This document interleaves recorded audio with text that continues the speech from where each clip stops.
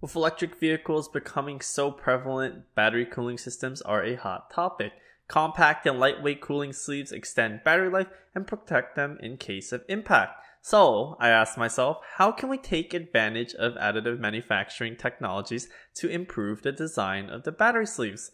Hello everyone, Yuki from nTopology here, and today we're going to take a look at a battery cooling sleeve and see how we can improve its design by increasing thermal efficiency to increase the battery life. Let's get into it.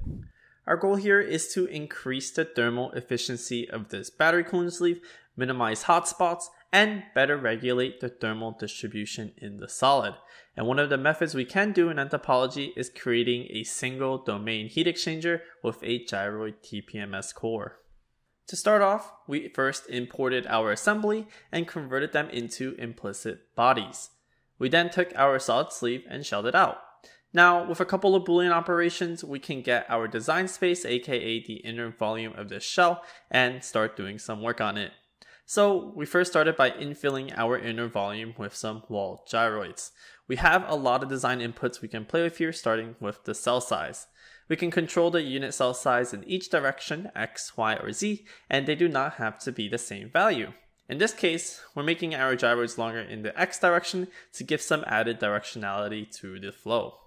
Now we have defined our unit cell size, we can also control the orientation of our gyroids.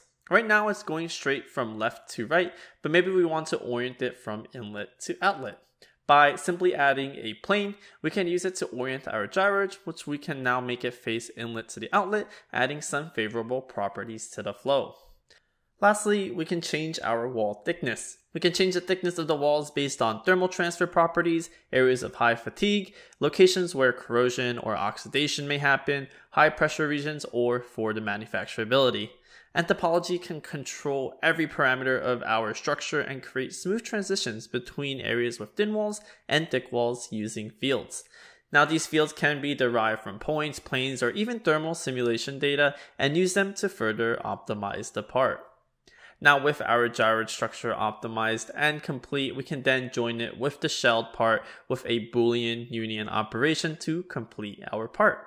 Now if needed or desired, we can easily add a fillet between the gyroid and shell for increased structural, fluid, and or thermal performance and to help that manufacturability. And to finish off, we can then mesh and export our part out for manufacturing. Now, why would you want to do this? Increase heat transfer, reduce pressure drop, reduce the size, and consolidate an assembly into one part to improve reliability. Fewer interfaces result in fewer potential areas of failure.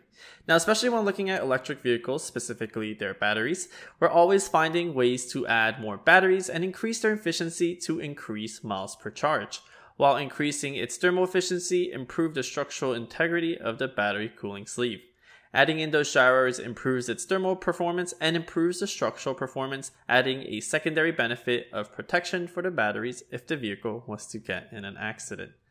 I hope you got a good understanding of how you can increase the thermal and structural aspects of a battery cooling sleeve with nTopology. Thank you, and I hope you learned something new today. If you want to download this nTop file, go to ntopology.com under resources, videos, find us on top live, and at the bottom, just fill out this form and download the nTop file. If you want to learn more about nTopology, contact us by filling out a form to speak with an nTop expert. Lastly, check out our support page at support.ntopology.com and type your questions here if you have any other questions. Thank you.